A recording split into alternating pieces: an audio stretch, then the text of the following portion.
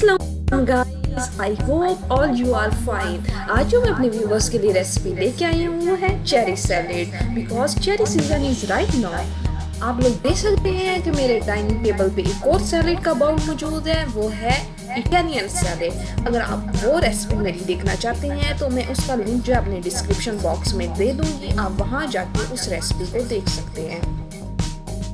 तो चलिए बढ़ते हैं अपनी रेसिपी की तरफ़। गेट स्टार्टेड चले लेते हैं हमें इसके लिए कौन कौन से मेन इंग्रेडिएंट्स चाहिए। इसके लिए हमें चाहिए cucumber capsicum red onion cherry oregano black pepper salt sugar orange juice lemon juice and white vinegar recipe करने मेरी अपने सब व्यूवर्स से रिक्वेस्ट है। मेरे चैनल को लाइक करें सब्सक्राइब करें और बेल आइकन को प्रेस कर दें और ज़्यादा से ज़्यादा मेरी वीडियोस को शेयर करें। तो चलिए स्टार्ट करते हैं। सबसे पहले हम एक बाउल लेंगे। इसमें हम ऐड करेंगे half cup chop cherry next लेंगे half cup chop cucumber half cup capsicum half cup chopped red onion आप लोग ग्रीन अनियन भी यूज़ कर सकते हैं। नेक्स्ट हम लेंगे सॉल्ट यहाँ पे मैं सॉल्ट ऐड कर रही हूँ। वन टीस्पून बट आप अकॉर्डिंग टू टेस्ट जो है सॉल्ट ऐड कर सकते हैं।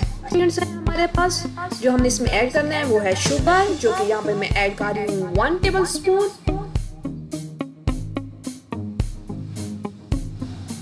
नेक्स्ट ऐड करेंगे इसमें लेमन जूस जो कि यहाँ पे मैं ऐड कर रही हूँ। वन टीस्पून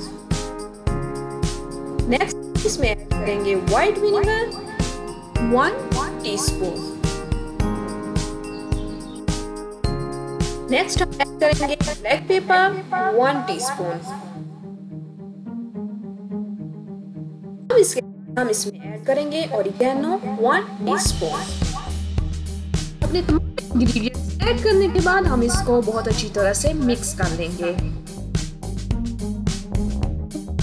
आप इस सैलेड को एंजॉय कर सकते हैं। फ्राइड चिकन फ्राइड बीफ और फ्राइड फ़िश के साथ। आपको मेरी वीडियो बहुत अच्छी लगी होगी। अगर आपको मेरी वीडियो अच्छी लगी है तो सब्सक्राइब करें लाइक करें कमेंट्स करें और ज़्यादा से ज़्यादा मेरी वीडियोस को शेयर करें। Thanks for watching my video new recipe के साथ। तब तक मुझे अपनी दुआओं में याद रखिएगा, अपना बहुत सारा ख्याल रखिएगा। अल्लाह हाफिज़।